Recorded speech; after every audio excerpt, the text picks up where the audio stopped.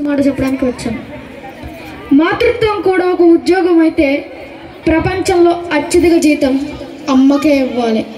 అమ్మ ముద్దుల వెనకే కాదు దెబ్బల వెనక కూడా అపారమైన ప్రేమ ఉంటుంది. దేవుడు సర్వాంతర్యామి అని చెప్పడానికి ఒక్కటే సాక్ష్యం. సృష్టిలోని ప్రతి జీవికి అమ్మ ఉంది. చిన్నప్పుడు చలికి వణికిపోతుంటే వెచ్చని దుప్పటి కప్పి కాపాడుతుంది అమ్మ. పెద్దయ్యాక సమస్య సమస్యలతో సతమతం అవుతుంటే తన ప్రార్థనలతో కాపాడుతుంది అమ్మ.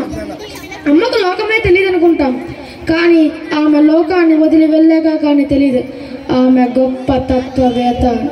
మరొకటి దేవుడంటే బండ రాళ్ళల్లో ఉండడు. మానవత్వం ఉన్న మనిషి గుండెల్లో ఉంటాడు. భయపడేవాడికి ధైర్యం చెప్పు. ఆకలితో ఉన్నవాడికి అన్నం పెట్టు. కష్టాల్లో ఉన్నవాడిని ఆదుకో.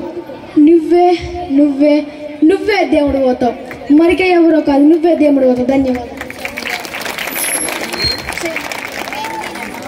ఏదో మంచి మాట అన్నాడు ఎంత మంచి మాటలు చెప్తాడని అనుకోలేదు.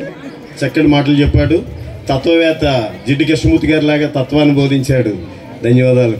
బాగుంది. వేసుకుని